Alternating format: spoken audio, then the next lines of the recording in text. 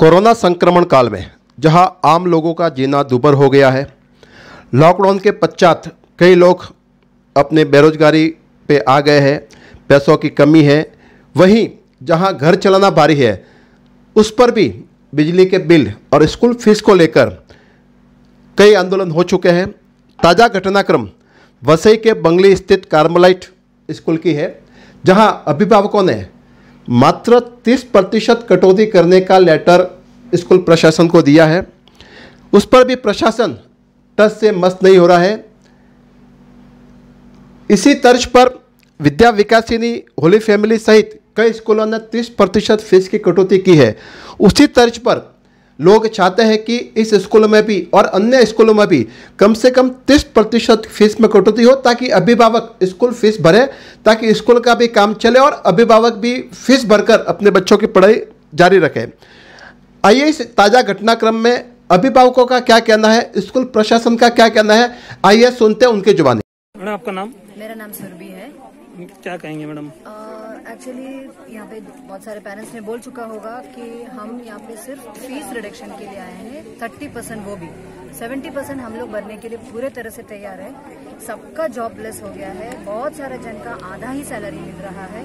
ये सब genuine reason हम लोग ने वो लेटर में डालने के बावजूद भी वो लोग हम लोग का लेटर एक्सेप्ट करने के लिए रेडी नहीं बाद में हम लोग को सबको पेरेंट्स को इंडिविजुअल लेटर देने के लिए कहा है and we are here with all individual letters फिर भी वो लोग हमें वो लेटर में एक्नॉलेजमेंट देने के लिए रेडी नहीं है। तो हम इसके लिए खड़े हैं ताकि जस्ट एक्नॉलेजमेंट दे सके कि हमारे पास प्रूफ रहेगा कि हम लोग ने वो लेटर स्कूल वाले को सबमिट किया है। And they will take the decision whether thirty percent और एनीथिंग उसके बाद हम लोग निर्णय लेंगे। जी। तो दिन दो घंटे लग गया मिलने को। जी। तो फिर मैं मिली उसको। तो मैंने बोला प्लीज़ प्रिंसिपल एटलीस्ट कुछ कम करो। जी। नहीं नहीं नहीं नहीं आपको एक फ़ीस भरना पड़ेगा और एक टर्म फ़ीस भर- आपका नाम मैडम? मेरा नाम विवेक शशि प्रकाश ओके मैम।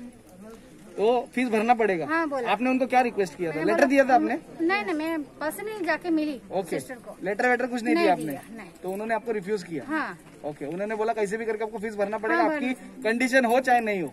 नहीं मुझे उसने बोला तुम पहले एक फ़ी भरो बाद में एक टर्म फ़ीस भरो बाद में अपन देखेंगे उसके बाद। ऐसा बोला था। आज के तारीख में कोरोना के महामारी चलते अलग अलग स्कूल्स ने अपनी ओर से डिस्काउंट दिए हैं। उसके अलावा यहाँ के जो लोक नेता, माननीय श्री हितेंद्र जी ठाकुर, क्षितिज दादा ठाकुर और अपने माजी महापौर रुपेश दादा के कहने पर विद्या विकास विकासनी, होली फैमिली सेठ विद्या मंदिर जे बी लुधानी अलग अलग स्कूलों में 30 प्रतिशत डिस्काउंट दिया गया है। तो हम चाहते हैं कि कामलाइट में भी वो डिस्काउंट मिले, इसके लिए पेरेंट्स यहाँ पे इकट्ठा हुए तो प्रशासन का क्या कहना है? प्रशासन का तो कुछ कहना ही नहीं है। प्रशासन तो एकदम ठंडा है। प्रशासन का कोई रिप्लाई नहीं है इसमें। प्रशासन अपनी भूमिका एकदम मूक बधिर की तरह कर रहा है। अच्छा कहीं से सुनने में ऐसा आया है कि स्कूल प्रशासन ने पेरेंट्स के कुछ कॉन्फिडेंशियल डॉक्यूमेंट्स की मांग की?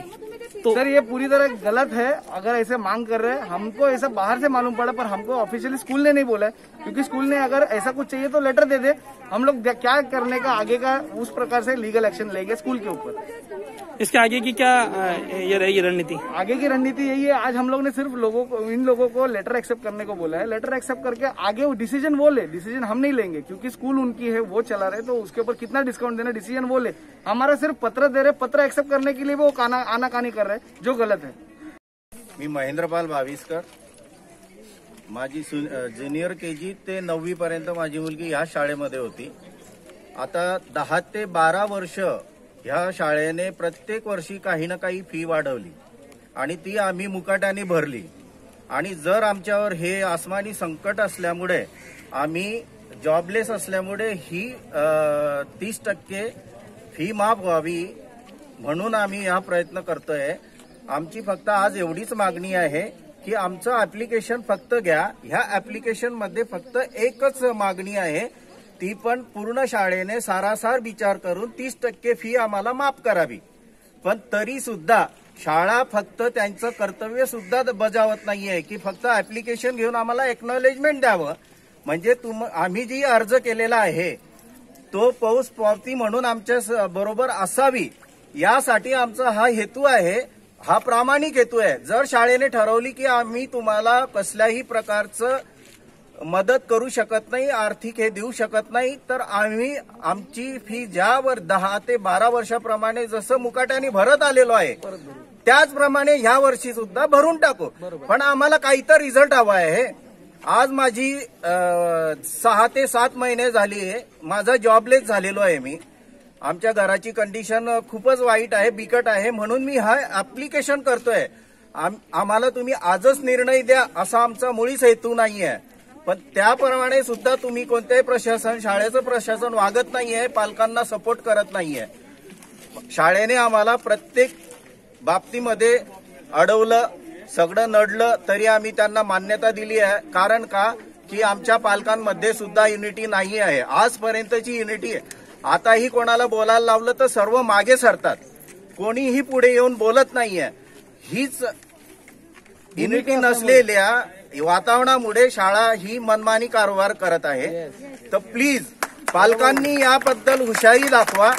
तुम्हाला काही नाही. तुम्हाला फक्त एकच मागणी करायची आहे का? आम्हाला फी माफ हवी. सर्वस्व निर्णय ही शाळा घेणार आणि तो आम्हाला मान्य असणार. बस आमची एवढीच विनंती आहे.